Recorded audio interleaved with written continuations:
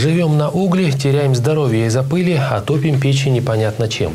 Такие слова часто можно услышать от карагандинцев и жителей городов-спутников.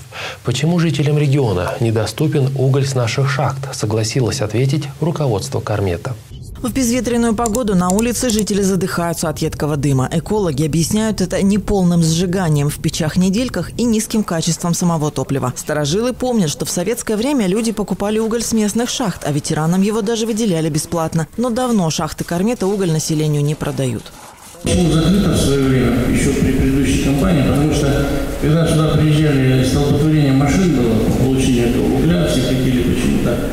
считали, что если они прорвутся первыми, то они получат самый хороший уголь, тот, кто опоздает, получит самый плохой. Поэтому здесь была у нас не очень хорошая ситуация на ТЭС-2. Было принято решение еще в те времена, что мы не будем продавать уголь, мы будем давать деньги столько, сколько необходимо для покупки угля людям, а люди уже сами на рынке выберут э, необходимый для них уголь времена ArcelorMittal было и другое объяснение. Уголь с карагандинских шахт не подходит для домашних печей. Поэтому жителям области предлагают только уголь с открытых разрезов и единственной маленькой шахты «Рапид». Но добывает она уголь с тех же пластов, что и шахты «Кармета».